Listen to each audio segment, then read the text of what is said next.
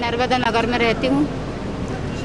क्या घटना है आप? क्या? मेरे मैं घर से मैं काम करने गई थी। राजेंद्र यादव आया मेरा पूरा सामान फेंक दिया और बीच में बीच में दरवाज बीच में दीवार खड़ी करी मेरा नया दरवाज़ा निकाल के अपना लगा के और हम लोगों को मार पीट के अलग कर दिया।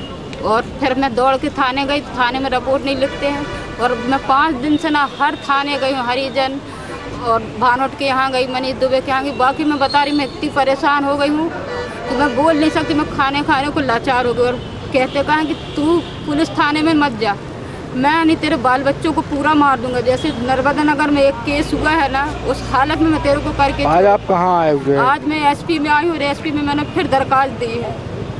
क्या चाहते हो आप क्या? मैं ये चाहती कि मेरा मेरी दीवार जी तोड़ दो।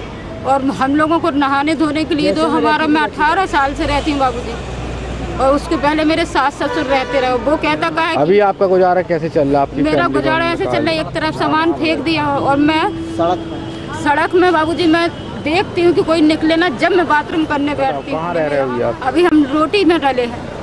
घर जाने की हिम्मत नहीं घर जाने की हिम्मत नहीं पड़ती है डर के मारे। क्या वो धमकी हमकी देते हैं? बहुत बड़ी धमकी देते हाथ पैर तोड़ के लाचार करके तुम लोगों को ना ऐसा करेंगे ना तुम लोग गली की रहोगे ना घाट कर तुम लोग चमार जात की हो। क्या कर लेगा हरिजन?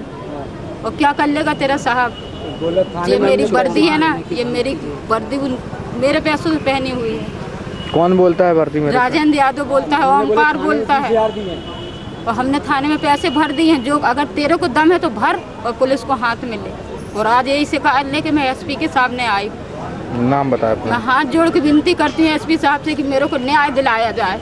नाम बताइए अपना। मैं बीना हर बार कहाँ रहती हूँ? नर्मदा नगर ग्वारी ग्वारी घाट थाना।